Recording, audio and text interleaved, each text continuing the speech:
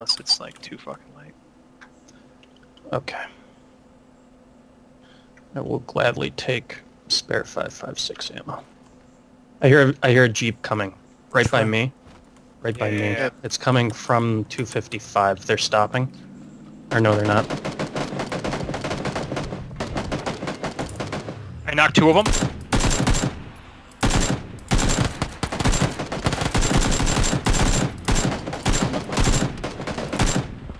Oh, sorry, I headshot him. Is that everybody? Yeah. This guy's got an eight.